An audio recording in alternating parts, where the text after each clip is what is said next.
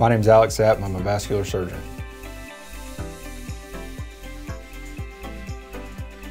Vascular surgery is procedures performed on blood vessels, whether arteries or veins. And they, we fix things like aneurysms or occluded or stenosed blood vessels.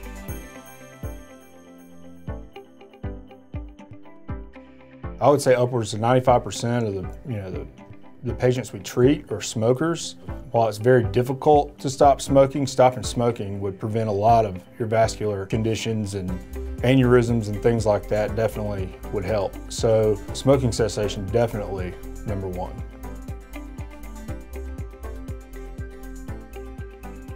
One of the more common things that we treat is peripheral arterial disease.